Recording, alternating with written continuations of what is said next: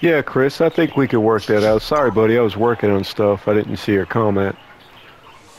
That one finds the corner. Come on. Man, I mean, Come on, Angel. Not today. To be better than it actually.